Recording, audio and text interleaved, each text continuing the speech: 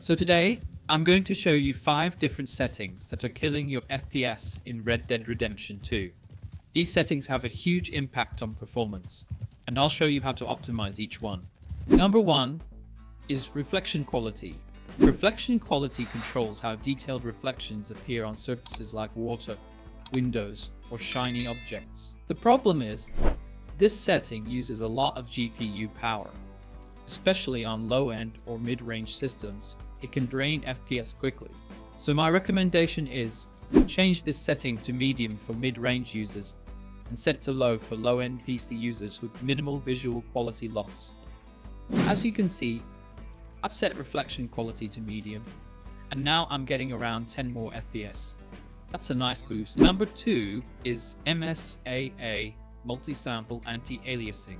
MSAA is used to smooth out jagged edges in the game it makes the image look cleaner, but it's extremely heavy on performance, especially in Red Dead 2. Honestly, my advice is to keep this setting off for almost everyone. Turn off this setting helps to get better performance.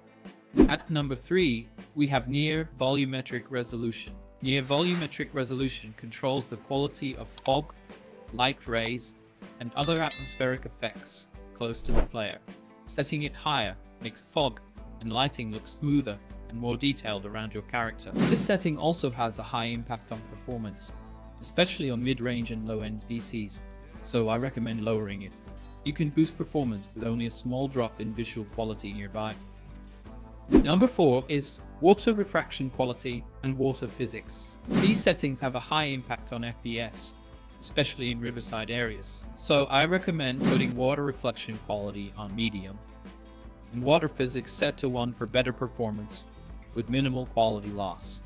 As you can see, I've set water refraction quality to medium and water physics to 1, and I'm getting over 20 more FPS. That's a huge boost.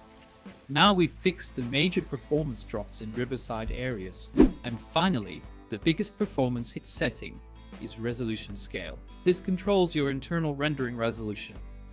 For example, if you're playing at 1080p, but set resolution scale to 1.5x or 2.0x. It's rendering the game at 4K or 8K internally and downscaling. It looks more sharper and smooth, but highly impact performance. In my opinion, you should turn this setting off to boost performance, especially on mid-range or low-end PCs. So these are the top 5 settings that have the biggest impact on performance in Red Dead 2. Try these optimizations, and you should see a big FPS boost without losing much quality. I really hope this video helped you out.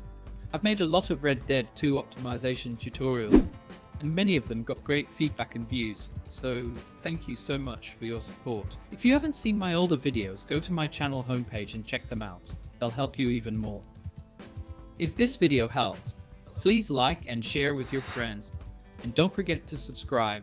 It really helps me grow this channel, and in the next video, I'll show you how to use X3 frame generation with lossless scaling on 5 different games. So stay tuned. Thanks for watching. Until next time, happy gaming.